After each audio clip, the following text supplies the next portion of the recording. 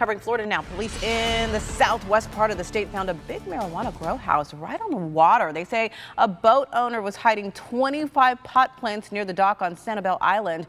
Investigators were trying to pinpoint a diesel fuel smell. Mm, their nose, though, took them in the opposite direction. The man is facing charges for drug trafficking.